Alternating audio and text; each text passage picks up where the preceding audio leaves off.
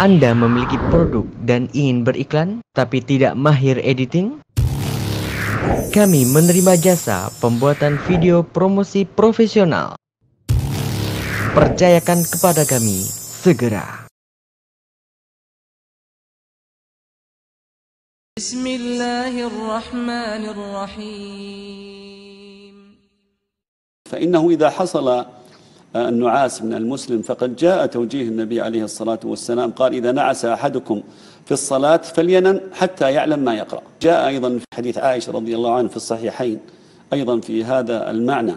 فقد بين النبي عليه الصلاة والسلام أنه قال إذا نعس أحدكم وهو يصلي فليرقد. هذا توجيه من النبي عليه الصلاة والسلام. يقول حتى يذهب عنه النوم. ثم بين العلة النبي عليه الصلاة والسلام من ذلك فإن أحدكم إذا صلى وهو ناعس لا يدري لعله يستغفر فيسب نفسه.